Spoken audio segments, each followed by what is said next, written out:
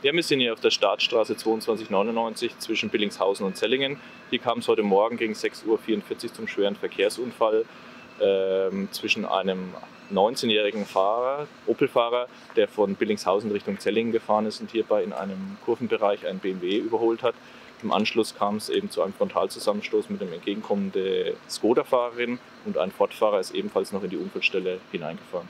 Ja, es war äh, wirklich ein großes Trümmerfeld, über 100 Meter verstreut. Wir haben hier vier total beschädigte Fahrzeuge, die eigentlich alle wirtschaftlichen Totalschaden erlitten haben. Der Unfallverursacher, der 19-jährige Opel-Fahrer, war noch im Fahrzeug eingeklemmt, wurde durch die örtlichen Feuerwehren aus dem Fahrzeug befreit und im Anschluss an die Rettungskräfte übergeben. Wir haben insgesamt äh, fünf beteiligte Personen. Davon haben wir zwei unverletzte Personen, zwei mittelschwer verletzte Personen, die in örtliche Krankenhäuser eingeliefert wurden. Und der Unfallverursacher, der 19-Jährige, wurde mit dem Rettungshubschrauber noch in die Uniklinik nach Würzburg verbracht, ist allerdings mittlerweile äh, dort verstorben. Ja, es ist halt eins selber bewegt es einen immer dahingehend, dass man sagen muss, man muss seine eigene Fahrweise auch überdenken, gerade bei den Witterungsverhältnissen jetzt momentan, aber auch, dass es sich nicht lohnt, eben Zeitdruck auf der Straße rauszuholen.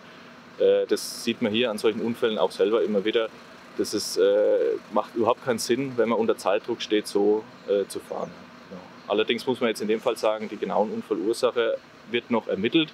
Wir haben auch auf Weisung der Staatsanwaltschaft Würzburg eine Sachverständige hinzugezogen, die eben jetzt hier an der Unfallstelle noch tätig ist.